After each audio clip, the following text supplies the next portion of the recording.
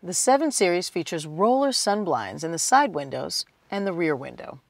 And these can be operated using controls, buttons, located on the doors, or by using the command tablet. On the driver door, this button controls the roller sunblind in the rear window. On the rear passenger doors, these buttons control the sunblinds for the left and right windows, while this button controls the roller sunblind in the rear window. The glass roof visor is operated using this button. Press the button to open the closed roller sunblind or to close the open roller sunblind. If the button is pressed again during the movement, the roller sunblind is moved in the opposite direction.